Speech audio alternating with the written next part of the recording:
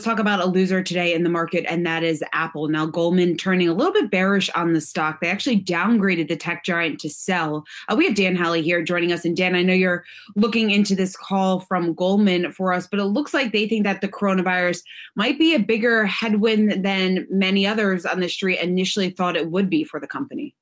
Yeah, and it seems like the headwind really will only be temporarily, at least as far as iPhone sales go. They're saying that they're looking at as much as a 36% year over year decline for Q2 iPhone sales. Q2 is usually around the time when people uh, have already passed the, the bulk of iPhone purchasing. We see the phones come out in September. There's a huge rush into the holidays. Uh, and then when you get into Q1, there's the leftovers. And then Q2 and Q3 is really where the slowdown happens.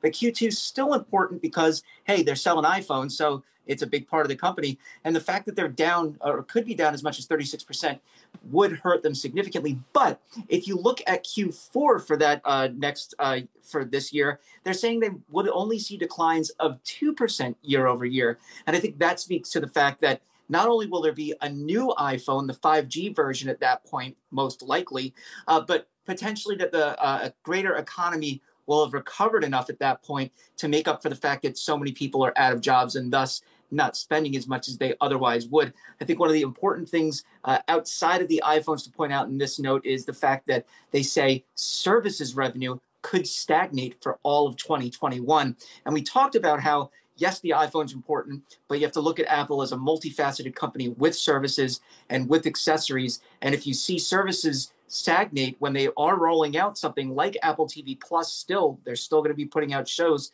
presumably, then that starts to leave you a little worried.